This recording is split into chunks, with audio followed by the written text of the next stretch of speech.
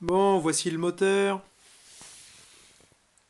le contrôleur, le contacteur, le sectionneur, le bouton de démarrage, le module de communication.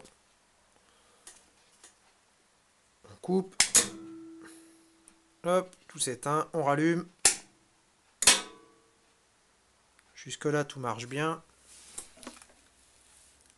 Je demande la marche avant.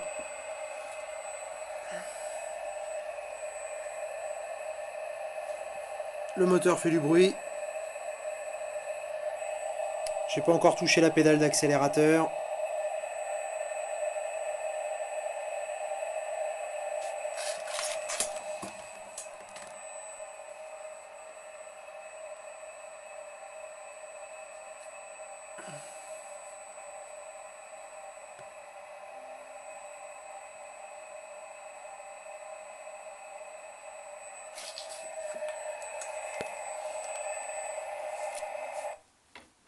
Je retire la demande de marche avant.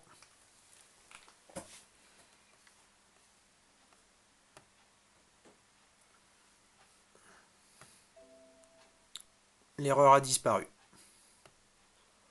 Ah bon? Pas une solution ça.